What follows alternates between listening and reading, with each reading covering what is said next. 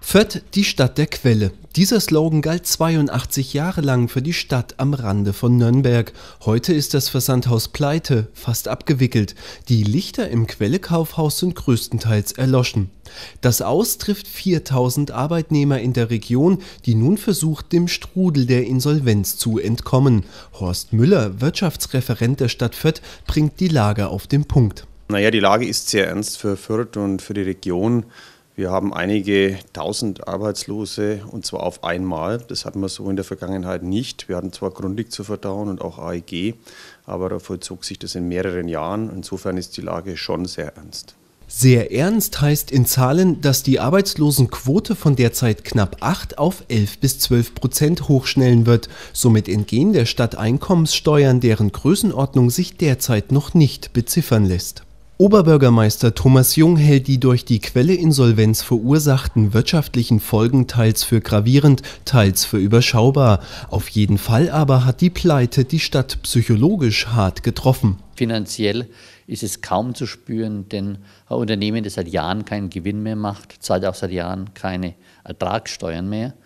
Aber was natürlich die Arbeitsplatzverluste angeht, die gehen bis hin zum Metzgerladen, die gehen ins Sicherheitsgewerbe, die gehen in die Druckereien in der Nachbarstadt, das geht zur Post und überall hängen auch wieder Förderfamilien dran.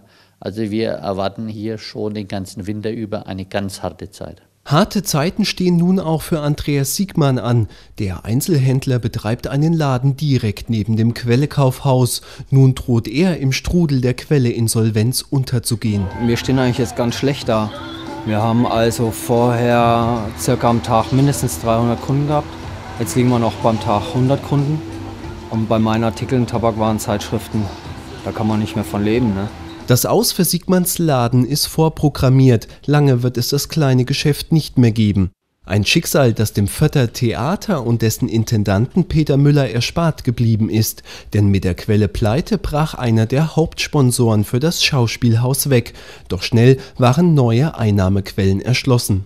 Ja, die Insolvenz der Firma Quelle hat uns insofern äh, doch hart getroffen, weil ein mittlerer fünfstelliger Betrag, das sind ungefähr äh, knapp 10 Prozent unseres gesamten Sponsorenaufkommens durch die Insolvenz verloren gegangen sind an Sponsorenleistungen des Stadttheaters Fürth. Besonders attraktiv ist Fürth bei jungen Familien, sagt Baureferent Joachim Krause.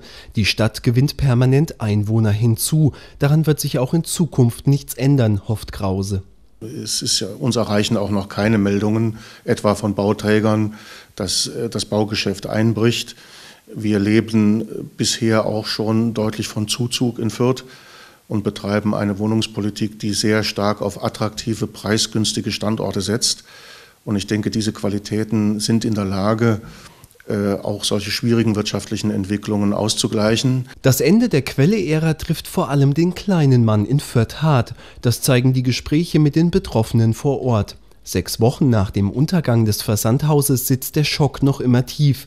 Quelle ist und bleibt das beherrschende Thema bei den Föttern.